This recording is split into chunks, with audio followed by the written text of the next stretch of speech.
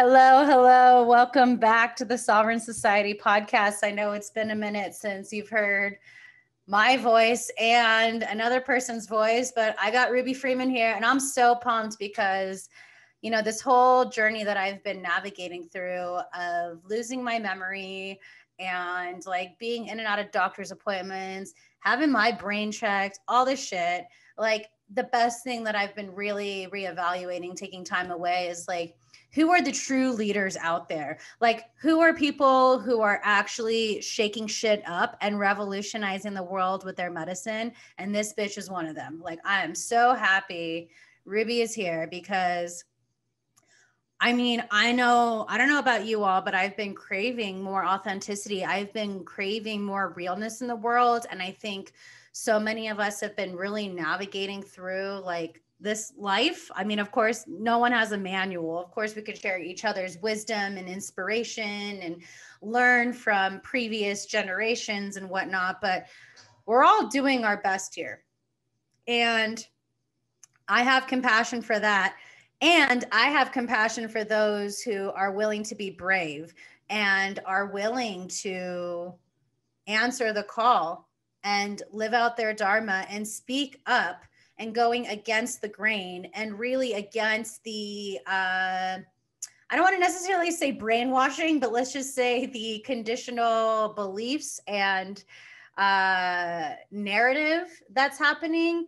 And more than that, like my biggest prayer is that people step into their sovereign embodiment and in their truth, which means freedom, liberation. It's the it is moksha. It is the liberation from suffering. And if we are constantly living in this fear constantly living in this box there's no liberation. There is no freedom. There is no sovereignty in our reality.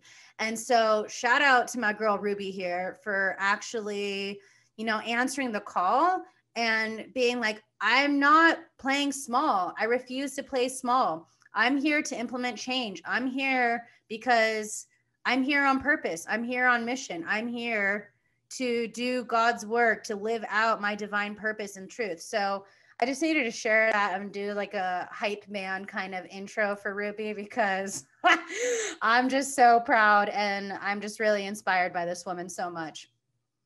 Wow. That has to be hands down the best intro I have ever received on a podcast ever. And I feel like I just want to pack you up and put you in my pocket and keep you as my hype woman for life. Like when I wake up in the morning, there's Sabrina. She's going to hype me up. When I oh. come out of the shower, there's Sabrina. She's going to hype me up. When I come out, like, I just, can I have that? all the time, please? Well, just play this episode on repeat, okay? Have this for your morning. I might just do that. I love it. No, but I've like I've been following Ruby for years and I met her before this whole shitstorm went down in Palm Springs through our buddy Brett. Brett Jones, and he's another one that's really shaking shit up, speaking up, and being censored for for sharing his truth. But he's not giving up, and neither is Ruby. And I think that's the test we're in right now. You know, like we came here during this time for this. You know, it's like I think, and I would love your your response on this. You know, come 2012, maybe a little bit before, everyone's like starting to get their feet into the spiritual movement and what it means to be spiritual and this ritual or this crystal or this practice. And then it's delivered to us on a this i wouldn't say a silver platter it's definitely like a corroded platter. Like what we're navigating through but it's like okay cool how are you implementing what you actually have been learning versus just like what will sell or like mm-hmm. what everyone else is doing? Like are you actually embodying the teachings and the wisdom and the medicine you've been sharing on social media Mm-hmm. And that's what's missing, right? Is the integrity. We're, yes. we're lacking integrity in in our world as a whole, in humanity as a whole, and especially in the spiritual, personal development, entrepreneurship industries. Like it's like the the invention of digital media technology social media has made it really easy for people to lie manipulate mask and what happens is people's psyche gets involved, their egos mm-hmm. get involved, they get really wrapped up and hyper focused on the wrong things. You know, their egos get wrapped up in, well, look at me, like me. And then that starts to show up in their leadership and and their presence and their energy. And so all these things like we're uh, I'm I'm sure you're like me like we're not saying crystals are bad. We're not saying like all these things are bad, but it's like are you using these things with intention? Mm-hmm. Like, are you actually being present in the work that you're doing? Or are you just showing up and filming your, a, a, yourself dancing in a reel and calling it embodiment? And then going back and sitting on the couch, eating chips, watching fucking Netflix, and not doing any inner work at all. You know what I mean? I'm like, dead. also, I'm not dogging it. I'm not dogging Netflix either. I actually really like Netflix because I'm a projector and I need to zone out at the end of the day. But you know what I'm saying, right? Like, yep where's the congruence? Um there it's so easy to learn something and regurgitate it. What's hard is to like learn something take the time to really integrate it uh, meaning and i don't want to just be one of those people that throws words around. So what does integration mean? It means like bringing it into your daily life your daily practice your daily being. It's like you it's, learn- a, it's your it's your resonance. Yeah but that can also be a word for people. It's like, what does that actually mean? It's like, how are you taking all these tools that you're learning? How are you taking all this knowledge, all this wisdom that you're uh, obtaining and bringing it into your life, bringing it into your soma, bringing it into your body? Are you actually putting things into like a ritualistic practice? Or are you just doing things to check off a to do list on the box to say that I meditated. Yep, I did breath work. Look at me. Look how enlightened I am. Mm-hmm. No, fuck that shit. Louder for the people in the back. I hear you. Fuck that shit.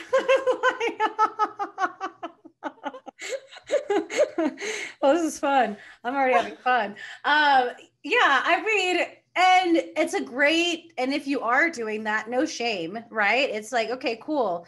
Can you become aware of that? And from that awareness, can you do better?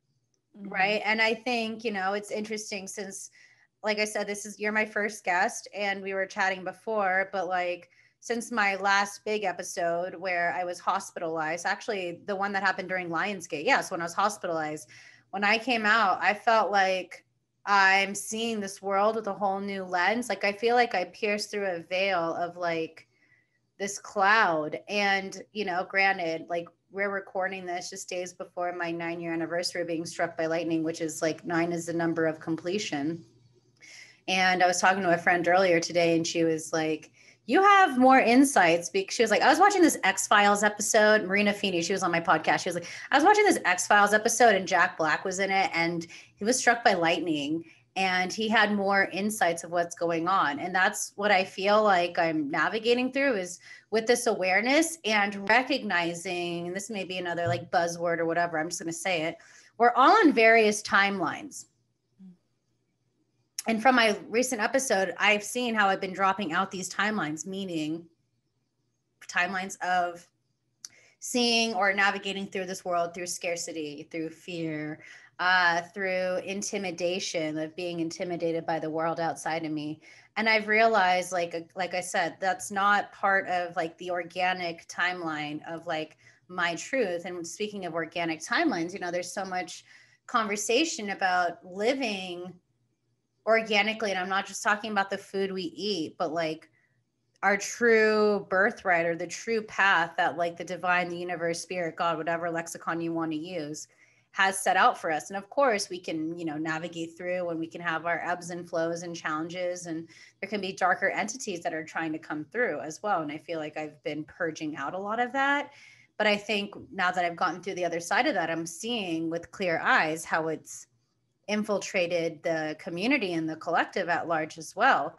And it's interesting because you know so much uh you know like you were talking about earlier like we're in like so much social media and like constant uh, news and uh, information and we're not how do we navigate through that with discernment one and two how do we recognize that like these darker forces have taken over those spaces for more control and it's interesting because i was thinking today you know a lot about like early childhood conditioning, right?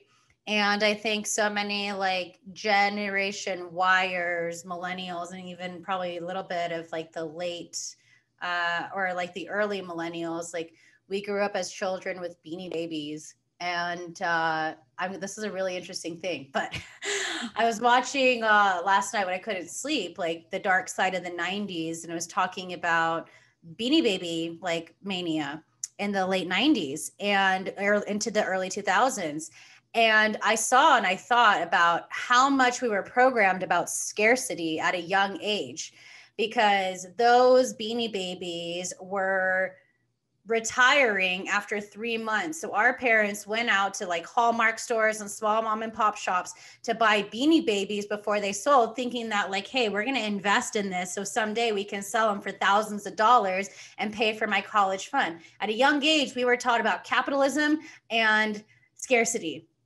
mm-hmm. through toys. So we saw how there was like a darker, like how there was greed that took over and ingrained at a young formative age these children who would then go to fast food to get these beanie babies, which would be full of processed shit. But just like if you can start seeing the hawk perspective of the bigger, bigger agendas that are happening in our world, in our collective, and where is that money? Whose pocket is it going to? Like this whole pandemic, there are now five new billionaires because of this new pandemic. But that's the thing is like people are so wrapped, like zoomed in on on this present moment, this present minute minute that they're uh, it's like they're unable to zoom out and look at the bigger picture here. And I love that you use the word hawk perspective. Actually, my 40th birthday gift to myself is a giant hawk tattoo. So that'll be Ooh, confirmation. Yeah. I love and that. I love it too. But that's what we're missing is perspective. Mm-hmm. and a perspective on in all ways. Yes to the programming. I think a lot of people I want to start here. Programming. Yes. A lot of people are feeling like this kind of came out of nowhere. And I want to emphasize this has not. It's been brewing for generations. Like for generations, humans have been primed for this moment in time. We've been primed. And so the priming, the program of priming started not with us it started with our parents with our grandparents with our great grandparents priming them to be in this weird kind of like um, I hate using the word zombie like or sheep. I don't like using those kind of terms, but there's like an autopilot and a and a automatic trust for those in in power in quote unquote power or those in positions of authority.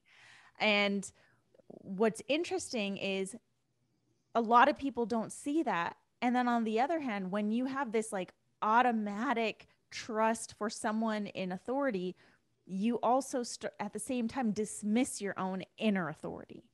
Like this person knows better because they're in a position authority. I don't know better. I don't know what's best for myself. I don't know. And right now, the way that I'm looking at it is this is a reclamation for us to reclaim our power, to reclaim our sovereignty. And that's why a lot of us are experiencing these weird glitches in the timelines and a lot of stuff coming to the surface. Like a lot of us have been going through our a version of a, a, dark night this year, even though we've already gone through it. You know, I went through my second dark night of the soul this year and I didn't think I would ever go through that again. And I did, and it hit me out of nowhere. And the more I started talking about it, the more I realized other people were also experiencing the same. And it is, it's this like dissolution meant as well as like the crumbling of the timelines as well as like everything you've learned up until now could be false. Mm-hmm. What are you going to do with that information? And it, it it's a return. The way I look at it, it's a return to our center. It's a return to the earth. It's a return to uh, being sovereign beings and reclaiming our own internal authority. That is what's at hand right now, and that goes hand in hand with leadership because if the leaders, the people who are showing up right now and claiming the title of leader are not actually standing as sovereign beings and are just doing what everyone else is doing just for optics, then those are not the people we need to be following, right? The, the people who are telling you what to do, that's just another form of authority. That's just another way for you to go to somewhere else to find what it is that you're looking for versus all the answers we need and all the work we need to do is within. It's deep within. And if I believe so strongly, if every single person on the planet right now just devoted themselves to their inner work, right, we'd be in a far better state than we are right now. Amen. And I think part of that inner work on awareness of that is also knowing that, you know, there's, it looks different for everyone. Mm-hmm. And I think what you were talking about when it's like, this has been going on for generations is because it's still brewing up because it hasn't been fully alchemized, healed, transmuted, released. So it's part, there's still like, I don't want to even say it's a golden thread because it's not gold, but there's still this thread that is connected from generations and we're seeing these patterns, right? It's, it's a cycle, it's a pattern, it's a loop. That's mm-hmm. why I'm very passionate about alchemizing loops because it will just keep you on that hamster wheel. And I think as humanity, that's what we're experiencing. We see this every like 20 years or so, you know, like 20 years ago 9/11 happened mm-hmm. and mm-hmm. you know what I mean? That's coming up. You've got like what the Berlin Wall happened, not, you know, was the big one that happened right before that as well. And it's just like these are cyclical things that are happening because collectively we still haven't mastered it. We haven't become aware of it. And I think that's part of our generation too, because we're the last generation of that millennia. Mm-hmm. So we're still fairly new into this millennia. 21 years is like a very very small like 1% you know or 2% of like the thousand years that we're navigating through. So it's it's having the courage now to be aware of that. And from that awareness how can you begin to implement change? Great we have social media. We have the internet where we can spread our information and share our wisdom and our medicine and touch the lives around the world of people we may never have met before. Mm-hmm. And we, each of us, carry wisdom that is the answer to someone's prayer. And uh, that like came through when I was like working with some clients uh, a couple weeks ago, and it's it's like it was just duh. Like you, the things that you've navigated through, there's wisdom the challenges you've endured and you've conquered, that's an initiation and wisdom of stories you're going to be able to tell down the line of I don't even like what I don't even want to say what to do or what not to do, but again, just an awareness and having that that medicine be shared and passed down. I feel like this is how we're implementing this change. And it's I mean, of course it's challenging because so many people are having so many different perspectives of what's going on in the world. And it's just like, how many have actually been devoted to, again, their sovereignty? How many have actually been devoted to, like, the truth with a capital T? Mm-hmm.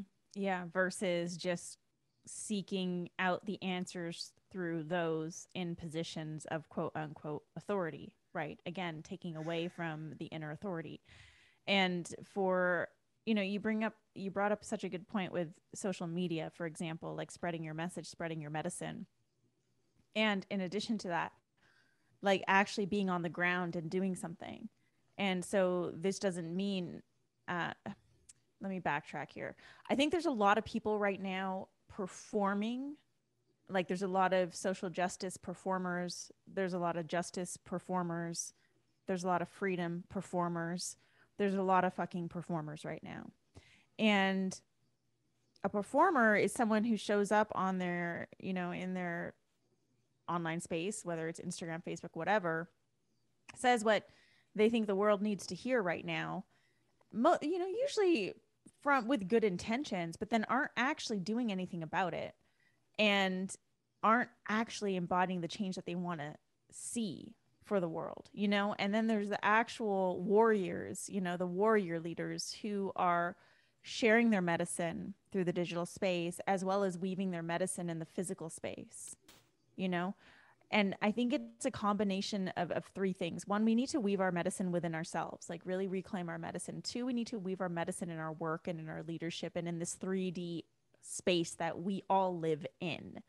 And then three, we need to weave that medicine into the digital space because right now it's like an amazing space for us to connect with one another and unite because there's shit going on for example in Australia that is never reported in the news but the only reason we know about it is because of what people are sharing online mm-hmm. there there's shit you know and we need to be able to connect and I feel like you know this this week I was feeling a real sadness and I started looking into what that was and I gave myself space for that and I realized it was like I, I'm not I'm not like super sad about all this stuff that's happening in the world with our health and all that. What makes me sad is the division. Mm-hmm. is the way that we're being used as tools to to fight against each other and this goes for everyone on all sides of the equation like people on all sides are showing up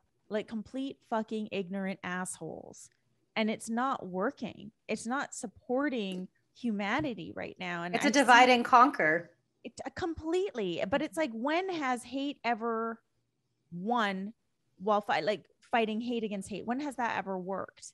You know, where no one is listening to each other. Um, there's people on like if we want to talk about sides there's people who believe things like we do and all they're doing is sharing memes and i'm just like but what are you actually doing like you're literally just making fun of people who believe different you're not initiating or creating a, a environment to have these types of discussions. And if people aren't ready to have a compassionate, conscious discussion about something, cool, they're just not there yet. But we need to embody the vision that we have for humanity. Otherwise, we're just as bad as the rest of them, all the people that we're hating on. You know well, what I mean? It's like, a it's a it's a new form of segregation. Hundred percent. Like people who say when I ever whenever I say like this is the Holocaust all over again, mm-hmm. people get livid. And then I'll go through the steps, you know, like the propaganda. Let's label someone as the enemy. Let's label someone as dirty, right? That's what they did in the Holocaust. And then we'll label the unmasked and the unvaxxed as dirty, right? Just like they did with politics. The red are dirty.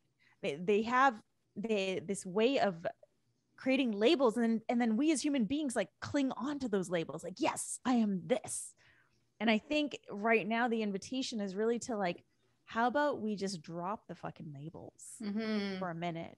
well, that's, that's part that's part of the distortions, right? It's yes. like that's the box. It's like, okay, because I'm associate with this label, it means I have to behave in this way. 100%. And it's it's really interesting because I was like this close, this close to becoming a Holocaust studies minor when I was in college. And I remember when I went to the Holocaust uh, Museum when I was in middle school, I didn't want to leave. Mm. Mm-hmm. I didn't want to leave. I loved reading about Anne Frank. I didn't want to leave. And I was so pissed because one time in college I had the opportunity to see Elie Wiesel and I missed it. And I like Night was one of my favorite books I read. And it's it's it's fascinating you said that because I've been reflecting a lot in my healing journey, you know, with my brain and what's going on lately, and I've just been putting the pieces together of the things that actually sparked interest to me at a young age. Mm-hmm. And how it's playing out again of that wisdom I've learned then of like, okay, from that awareness, how can I choose accordingly? Mm-hmm. And I'm seeing a lot of these patterns, and I'm just like, observing again hawk perspective i live by that and i'm a dot connector i'm a strategist it's what i do. And i've realized during this whole you know hiatus i've been going through and health shit like i truly am a strategist.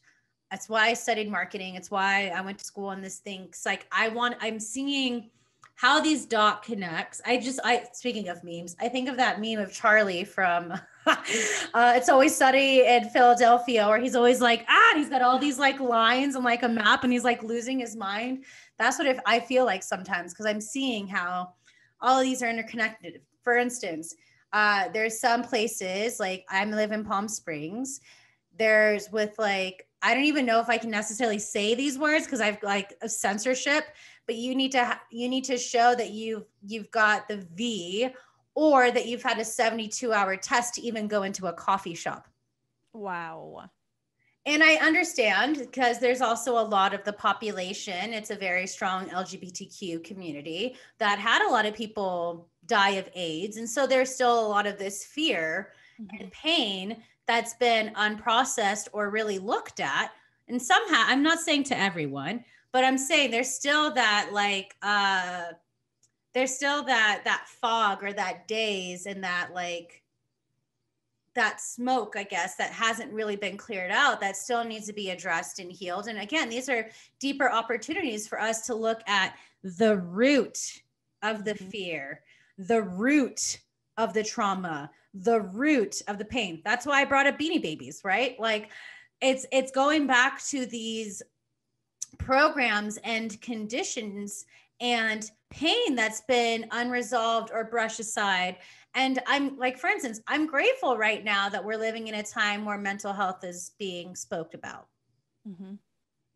And sometimes it takes shitty situations like this for people to wake the fuck up and to start having real conversation. But conversation means listening. Mm-hmm. it's not just talking, it's listening, creating your own uh I don't want to say belief, but like having your own share and like your own insights and really reflecting on what other people are saying because that's how we grow. There isn't this box, this label of like, well, this is how everyone else is in this community, so this is how I need to be. No, where is the individuality? Where is the sovereignty? Where is your truth? And again, that's what I feel like the bigger gift of all this has been. Of course, it's been a fucking challenging two years or so, but people are recognizing more the importance of speaking their truth and using their voice. And it's not like some of these people who don't believe that you need to show a card to get into places. Like, there's people who aren't completely anti, you know, they're anti the totalitarianism and mm-hmm. the control that these governments are trying to take over to keep people small because if they control the people then mm-hmm. they have control over them and they can't be controlled or uh, told that they're doing wrong so mm-hmm. that's my take on it of what's happening um because again i believe that everyone has their choice to your body your choice and becoming aware of the deeper agendas that are going on. What is the fear? Where is the division? Where is the segregation? And from that awareness, how are we using our social media platforms to speak up, implement change, and really look out for not just the generations to come, but even in our life now? Not even just like future, but like in this now moment. Mm-hmm. So, so important and so well said. And I think in addition to that, too, um, evolving our work as we continue to evolve and awaken mm-hmm. right? We are constantly evolving. We are that's like the one purpose that every human being has uh, in common is that we are here to evolve and we evolve until we die. And then even then we're evolving. If we're buried we're evolving in the soil and becoming the earth. So evolution is the only constant and as we evolve, and right now we're seeing a rapid acceleration in our evolution, both in the external world and in our internal worlds and paradigms, um, to take that and and and merge that into the work that we're doing. You know, how can we take the work that we're doing today and really have it feel more aligned for where humanity is right now? And I know that I've been feeling this a lot over the past year because things are different. People have um are are they have different needs right now. Like the needs that people had once before this all started, they've shifted because again, like we're all evolving. And so this is about how can you serve your medicine in a way that feels fully aligned with the times that we're living to to best serve humanity where we're at as a collective, right? And I think that that's a really important thing to consider for those of you who are in a space of servitude, who are serving clients It's like, how can you better serve humanity at this time? How can you better serve yourself? How can you better serve your clients? How can you better serve your audience and your community and the people around you? And perhaps this also means shifting your audience, shifting the people around you, shifting the clients that you work with, right? To create or to cultivate a deeper alignment. Um, there's definitely, like, just me personally, I've been feeling such a, I've always been one to love things feeling aligned. I love it when things feel aligned. When things don't feel aligned, I'm like, fuck this, I need to change something. But now more than ever, I'm like, if something is misaligned, I am done. I have no patience. This is not working. It needs to go. And that includes people, things, experiences, stuff, like all of it. Mm-hmm. And I think that a lot of us are feeling that. However, um, not enough of us are taking action on it because it takes courage sometimes to let go of people, to let go of things, to let. Go. It's a mourning offers. process. It's a oh, it's a mourning it's a process. Grieving, it's a grieving yeah. process that you navigate through. 100%. And it's eh, you know it's it's also part of life. Like yes, people come in your life for a reason, for a season, or for a lifetime. We we're aware of that. And like you said, I, we're we've all shifted in the last two years because we've we've had a disruption in the patterning and the way that we were doing things for however long that it was like changing gears. And from that, there was also an ability and opportunity for a clean slate. Mm-hmm. Yeah. And, because, and that's the opportunity that we get to take eh, but it's like so many people are not seeing that as an opportunity you know? It's so much safer to stay the same. That that's what we tell ourselves. That's the story. A conditioning. right exactly. But it's not it's not. It's actually super fucking disruptive to stay the same. It, you're going against evolution right? You're creating more resistance in your life. You're creating more more um difficulties in your life. And you're being asked to evolve. You're being asked to create space, like me and you were just talking about this. You're being asked to create that space. You're being asked to drop deeper into yourself. You're being asked to move at a slower pace right now and with more intentionality. Like that's super important too. Like, can we be super fucking hyper intentional with mm-hmm. everything that we're doing? And we're, well you it's harder to do that if you're not slowing down because no. you're in your mind all the time and you're in this mm-hmm. go go go but it's like that slowing down is that cultivating of breath between moments and choices and spaciousness that allows also to receive. Right and right? that's the other program though right? Like don't slow down. Hustling is how we get shit done and it's like slowing down is for quitters whatever the fuck the story is that you're carrying and it's not there's so much and i'm saying this to as someone who's speaking from experience i was like super fucking type a like hustle hustle hustle go go go. I've been an entrepreneur for like 19 years now. I've had several businesses. I, i've just always been that person until 2018 when my soul was like you're fucking done and since 2018, it's just been this like, how much more can you slow down? How much more can you surrender? How much slower can you go? And it's been really fucking annoying. I'll be honest. Like it's been annoying to like, what God? What do you want me to surrender now? Like I feel, yes. so, I feel like a pile of mush. But it's also been like the biggest gift that I can give myself, as well as the biggest gift that I can give to the people I work with, to to my work, to my book. Like it's just been such potent medicine for me to slow down and be hyper intentional with everything.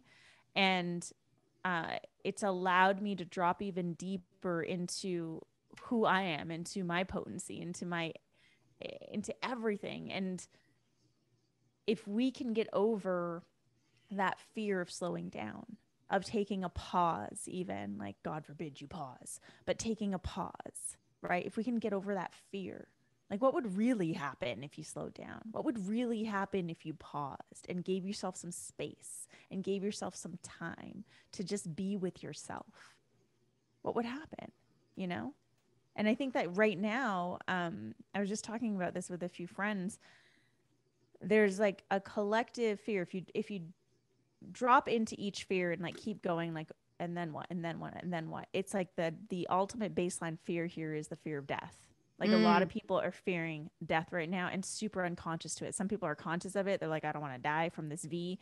Um, and some people are just not conscious of it, but there's a fear of death. And uh, it's important for us to understand that death is part of our life cycle and that we get to embrace that. You know, it was funny because, like, when I was 18 years old, 18, I think, um, my grandmother passed away and I was really close with her, and she had psychic gifts that were never spoken of. And the day she passed, I actually knew she was passing. And the day before she passed, I knew she was going to pass the next day.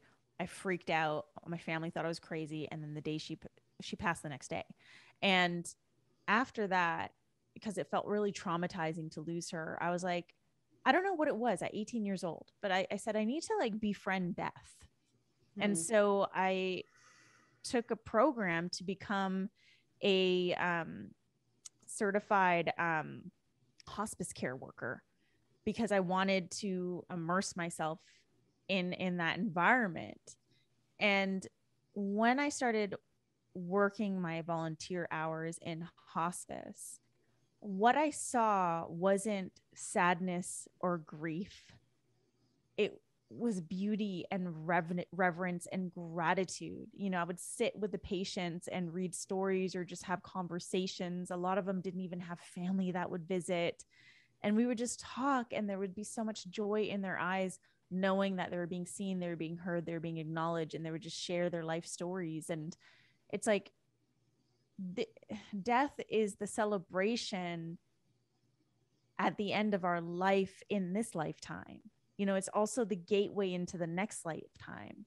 And yet here we are all in this 3d world scrambling around fearing death when death is inevitable. And when I, you start to really understand that you start to embrace the cycles in life. You know why people are afraid of death is because they didn't make the most of their life.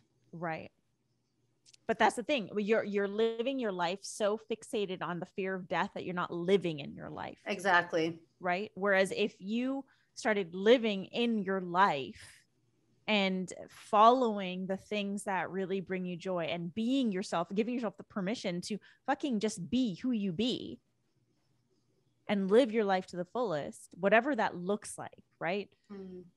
then you won't fear it. Right. You know yeah, I do. I mean, I've been around death since I was three years old. And um, my cousin died when uh, she was two and I was three of leukemia. So my early childhood memories are like being in Rady's Children's Hospital in San Diego and, you know, losing my best friend. And I had, a, I've had a lot of death throughout my life. And my last episode I had in um, August during the Lionsgate happened on the anniversary of my grandmother's death. And uh, when she was dying, when she was dying in 2015, she did 10 days, no food, no water. I actually have a tattoo on my arm that I got after she died that said, without suffering, there would be no compassion. Mm. And when she was dying, again, during that Lionsgate portal, I almost got struck by lightning again. And I had to like take off all my metal and like run across the street to my parents' house or my grandma's house to like get home while lightning's hitting the backyard and everything. Wow. And you know, there's of course, I mean, death is it's it's a it's a there's a grieving process to it. Mm-hmm. And you know, there's a lot of it like I wish I would have said this to them or like, you know, I miss their presence, but what we have to understand as well is that when we die, what lives on is the soul and the subtle body. So um, that's like my favorite thing from Kundalini Yoga is tantric numerology.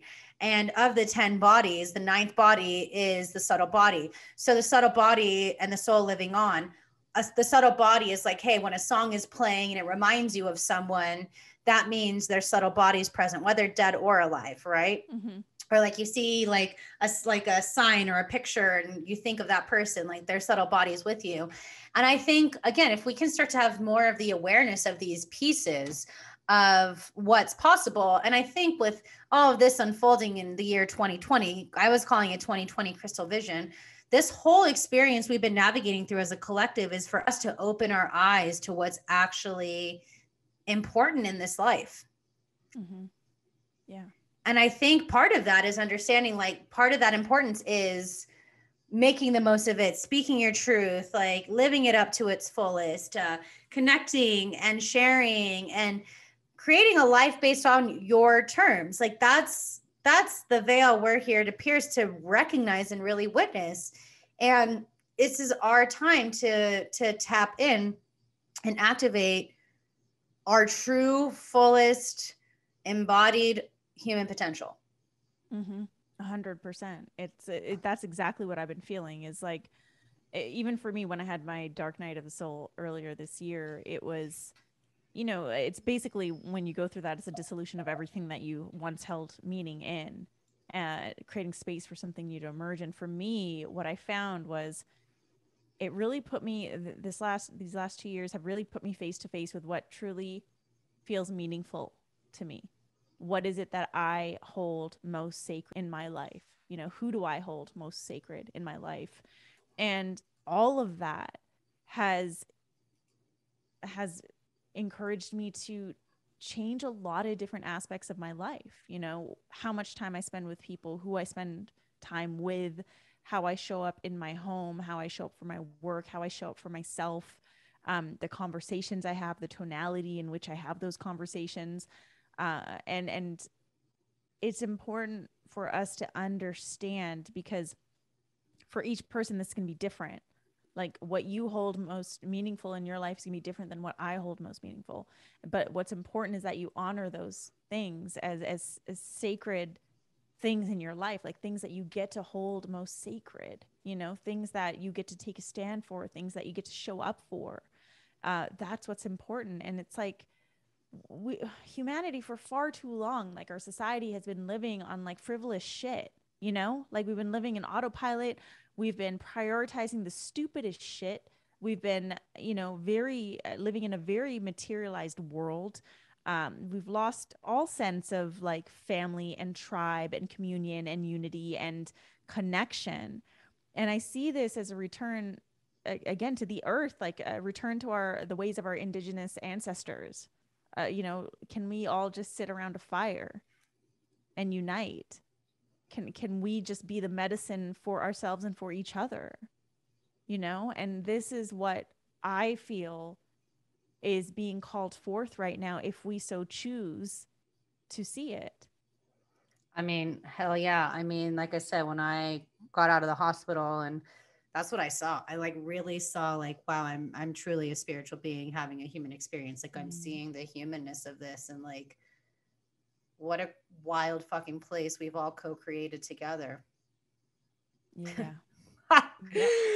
You know, it's like what a wild place we've all co-created together. And from that, it's like, like you said, like where can we understand that each of us are are bring we're all a fragment of the bigger picture and we're all contributing in some way or another through our experiences, through what lights us up, through what's made us who we are.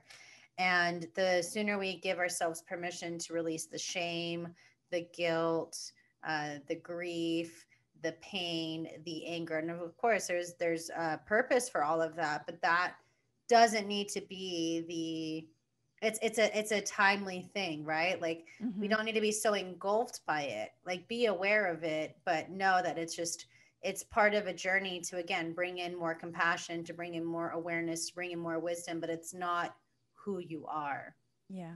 It's fragments, it's pieces of who you are, but the bigger picture of who you are is more than just those pieces and those elements, that fear, that conditioning, that uh that box, that label. Mm-hmm. Yeah, so well said. And um, again, hawk perspective, like you've been saying, like zoom out a little bit, mm-hmm. and and it, it's such a good time right now. It's such a good time right now. The the most divine time to reassess everything. You know, like mm-hmm. reassess everything. Who you be, how you're showing up, your relationships, your connections, your work, your how you're serving, um, how you're showing up.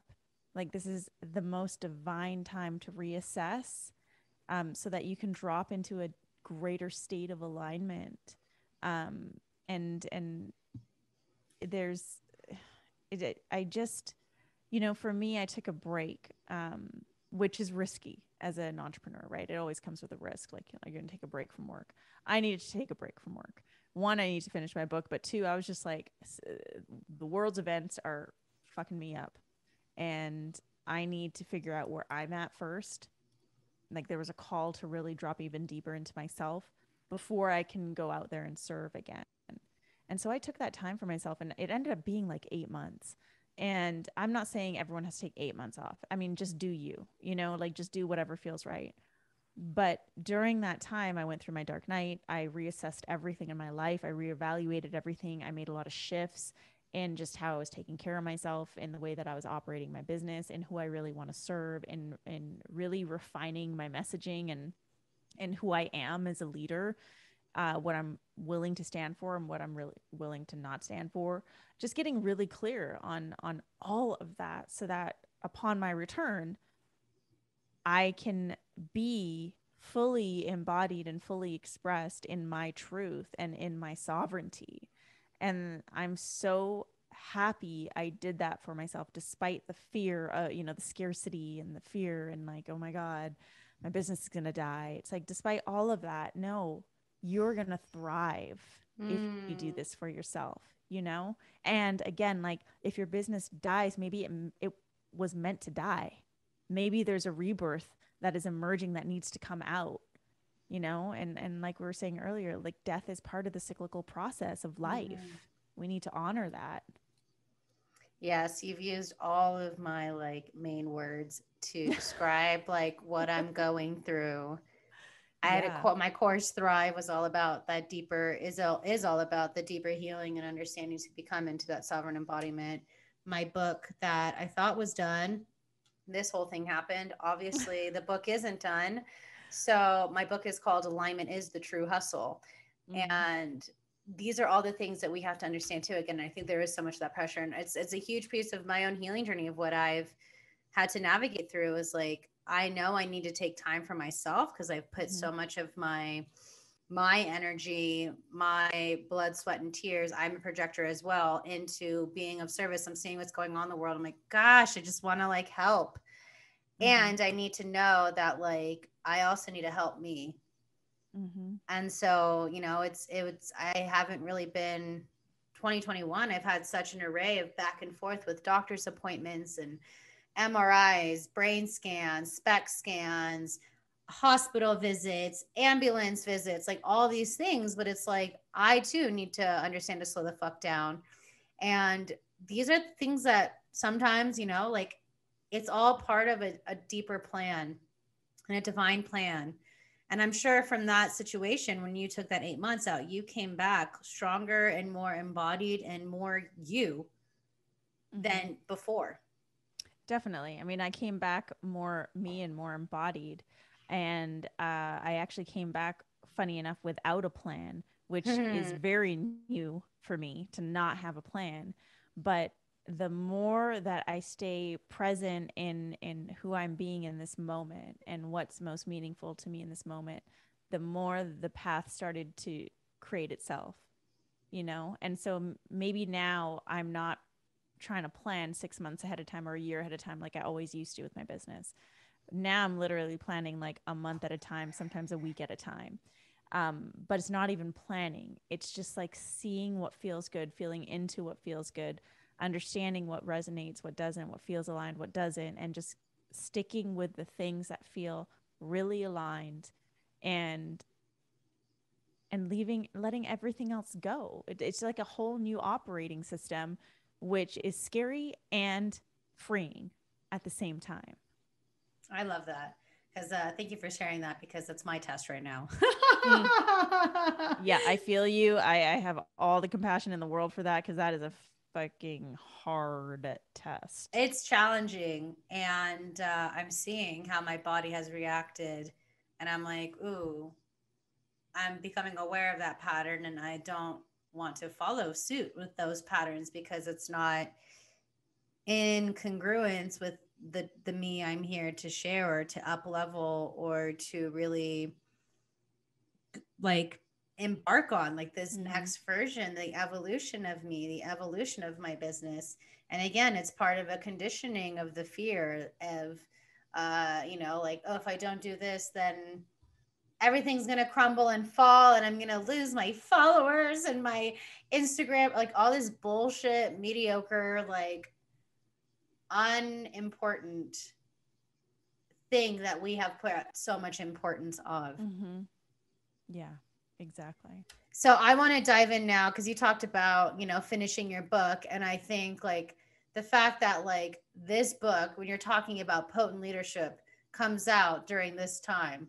Like you can't make this shit up. Yeah. Um, so I started writing I started my book writing process in January of 2020. And in January and February, it was a, a, lot of just like mapping out, visualizing, like just like seeing where this wants to go, working with my book coach. March, literally March 1st is when I sat down and started writing the book.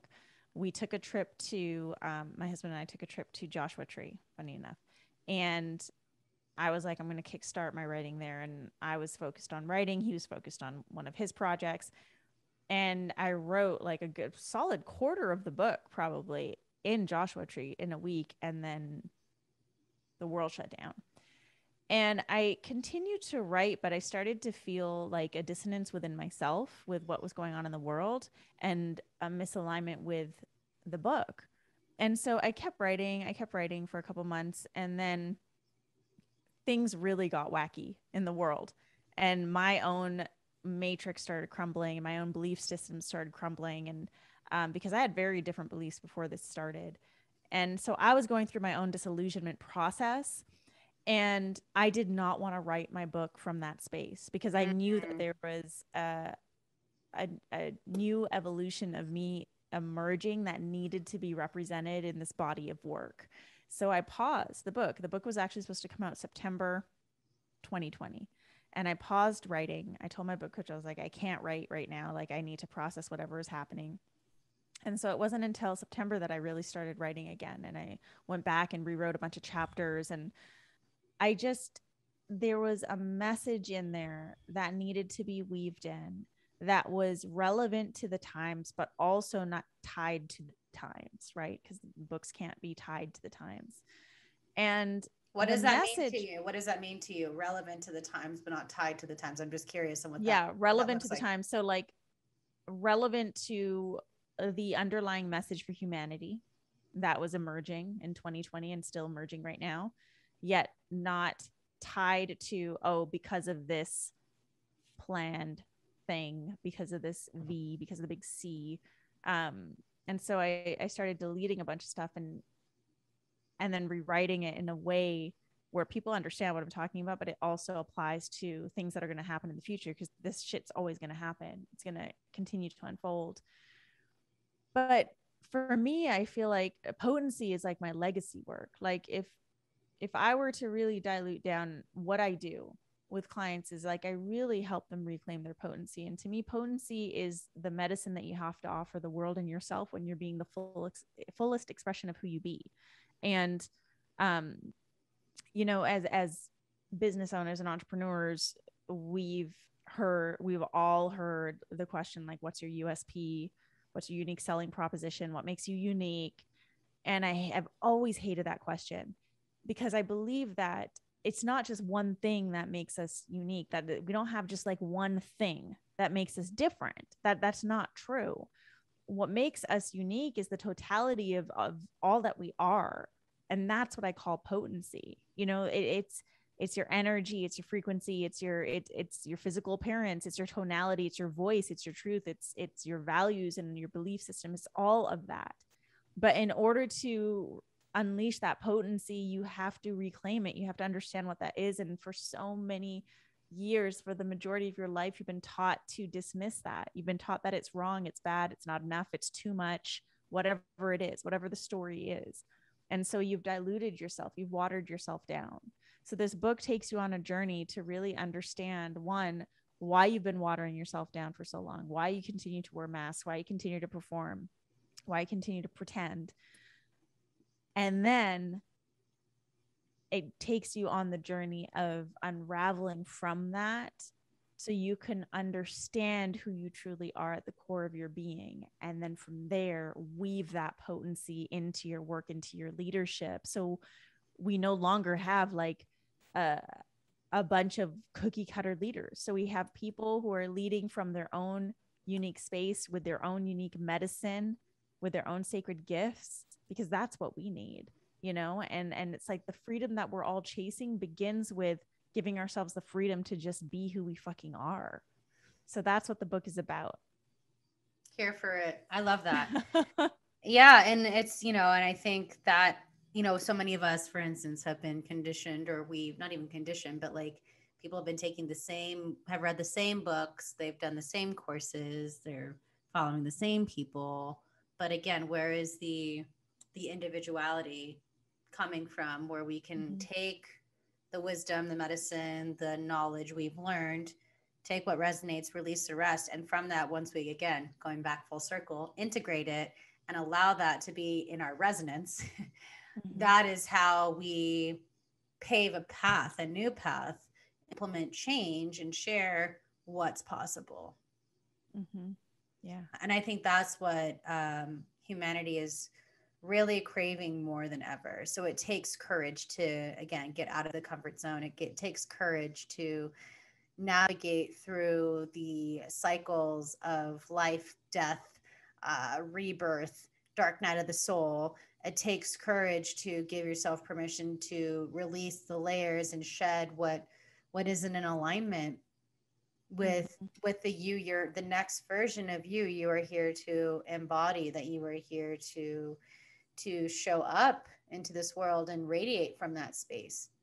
And again, I think that's the bigger message of what's happening, what's unfolding, um, what we're recognizing, what we're calling in, and what will also be part of our new reality.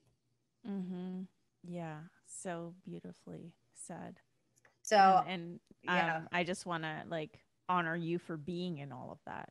Too. Oh, thanks. Appreciate yeah. it. Yeah, it's it's been a journey. And I, like I said, I thought my book was done, and then uh, this part, you know, is coming through. And I know I'm also in that process of mm-hmm. going back. Like I have well over ninety thousand words done, but I still haven't even even added what happened this summer yet mm-hmm. to it.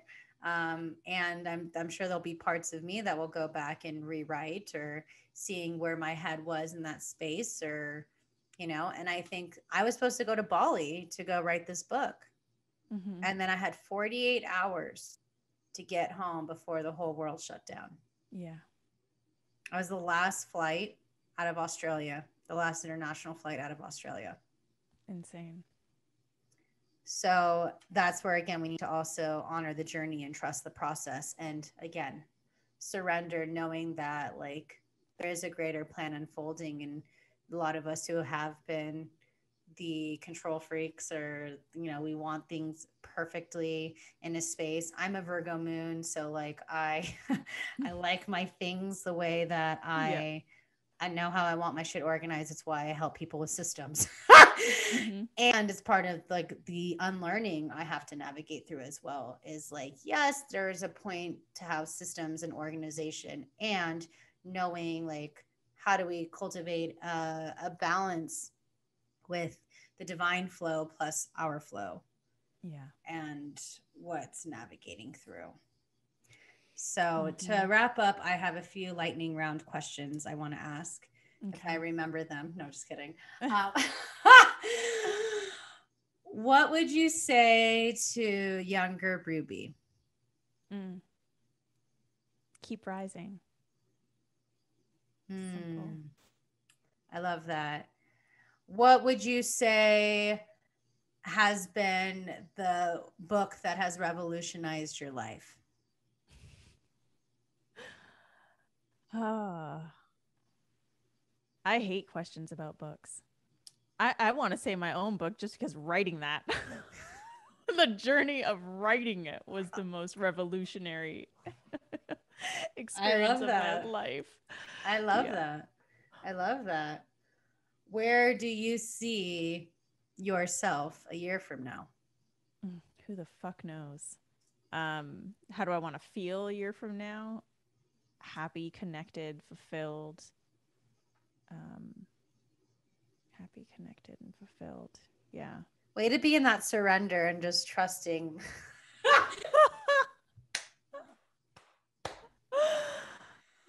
what last little nugget of wisdom do you want to share to whoever is listening? When things start to feel too heavy, take a moment to zoom out take a moment to pause, to reflect, to slow down, to honor what it is that you need to remain in your sovereignty, to reconnect to your truth. Hmm. And where can we find more of you? Mm. Well, you can find me on my website. It's a good place for all things, including the book. That's rubyfremon.com. The book is called Potent Leadership, and you can get that on Amazon everywhere. I'll have a book bundle out on my website very soon. Um, you can also find me on social media at I am Ruby, as long as they don't censor me. Um, Instagram is where I'm the most active. So you can find me there. And then my podcast, Potent Truth, on all podcast platforms. Thank you, Ruby, for going there with me. Thank you for being my first guest back from my hiatus. You know how much I love you and adore you and appreciate you. And I'm I'm looking forward to continue to see this evolution, looking forward to continue to see your courage mm-hmm. radiate through and you being unapologetically you. I think that is the definition of what it takes, or that is the antithesis of what it means to be a potent leader. And so I appreciate you serving and leading with integrity, walking the talk in such a way that is you.